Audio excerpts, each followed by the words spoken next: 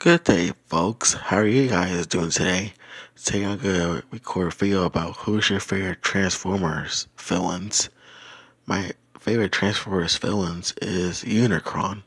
Unicron is a very dangerous villain and biggest in the whole um, Earth.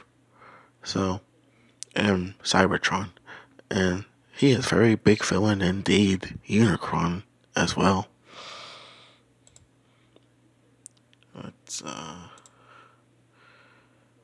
Next, my favorite is The Fallen, aka Megatronus. Megatronus is very a uh, loyal servant to Unicron, so he is very good antagonist in the second film called Revenge of the Fallen. He is my favorite villain, you know.